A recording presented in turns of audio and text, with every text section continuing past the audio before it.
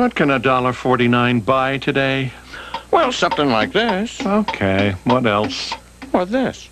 Isn't that the, uh, The Chicken Supreme. From Jack in the Box. you mean for a dollar forty-nine I can get juicy white meat chicken, two kinds of cheese, with lettuce and tomato on a wheat bun? How do I get my hands on one?